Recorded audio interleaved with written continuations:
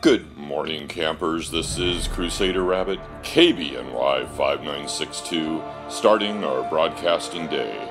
And today, for your viewer enjoyment, you're going to see the opening of a legendary romance crystal. Yes, I was uh, I was stupid.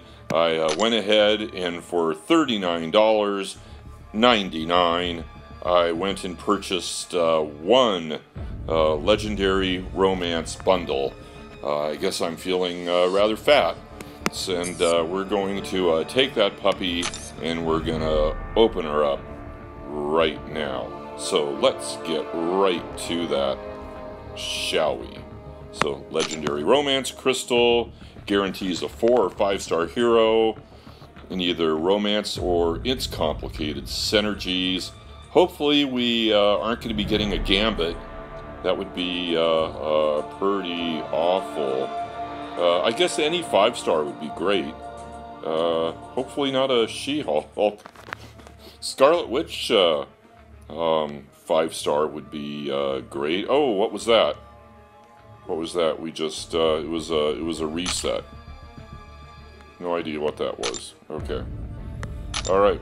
So, Legendary Romance Crystal. Before things get any weirder, let's go ahead and put that puppy on the roulette wheel and open her up and uh, see what we get. $39.99. Was it worth it? Let's find out. Oh, there's four stars. There's three stars. I see Cap America in there. That would be uh, pretty cool. I'd like Cap America. How about a five-star Gwenpool?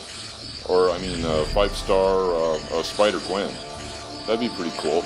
Duping my uh, uh, Angela would be would, would, would be cool, and it's going to be it's coming down. We're coming down to the last, and it's going to be a uh, it's going to be a four-star Daredevil classic duplicate.